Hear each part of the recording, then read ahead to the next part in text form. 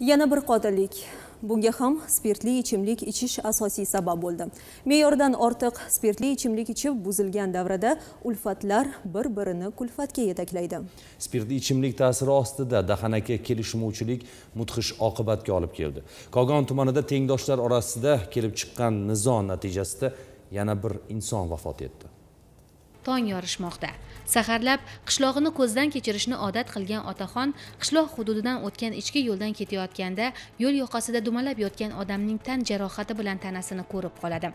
Yaqinroqdan borib qarasa bu qishloqda parrandachilik bilan shug'ullanuvchi tanishining qonga belangan tanasi edi. Hodisa sodir bo'lgan joyga yetib kelgan tuman prokuraturasi ichki ishlar bo'limi va tibbiyot birlashmasi xodimlaridan iborat tergov tezkor guruhi tomonidan hodisa sodir bo'lgan joy va uning tevarak atrofi kriminalistik texnik vositalar yordamida ko'zdan kechirilib shaxsning vafot etganligi uning tanasida o'tkir tig'li jismdan olingan bir nechta jarohat borligi aniqlangan. Holat yuzasidan o'zbekiston respublikasi jinoyat kodeksining to'qson yettinchi moddasi birinchi qismi bilan jinoyat ishi qo'zg'atilib tergov harakatlari davomida mazkur jinoyatni sodir qilgan shaxs aniqlanib qo'lga olingan va unga nisbatan qamoqqa olish tarzidagi ehtiyot chorasi qo'llanilgan. 2021 yilning 14 iyul kuni soat 00 dan boshlab kogon tumani o'rtacho'l qishlog'ida yashovchi 1966 yilda tug'ilgan avtomobil tuzatuvchi usta o'zining yana bir mahalladoshi va buxoro tumani shayxoncha mahallasida yashovchi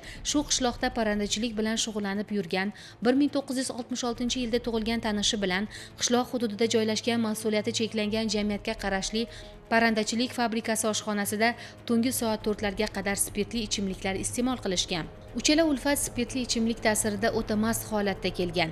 O'zaro suhbat chog'ida usta bilan tadbirkor o'rtasida arzimagan vajdan kelishmovchilik kelib chiqib ulfatlar mast emasmi? Tez orada janjalga aylanib ketgan. Bu janjalga ustaning mahalladoshi aralashib ularni ajratib mahalladoshini uyiga tomon boshlagan.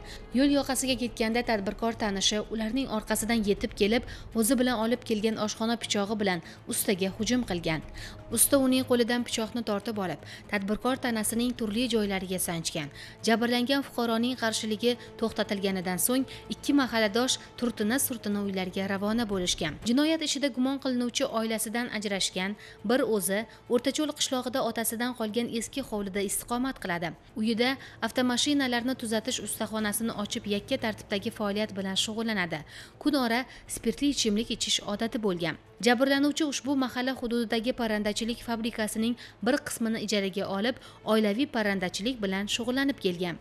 Biz ko'p marotaba ichkilikbozlik illat ekanini ta'kidlaymiz. Yuqoridagi mudhish jinoyatning ishtirokchilari o'z vaqtida ana shu haqiqatni anglab yetganida edi.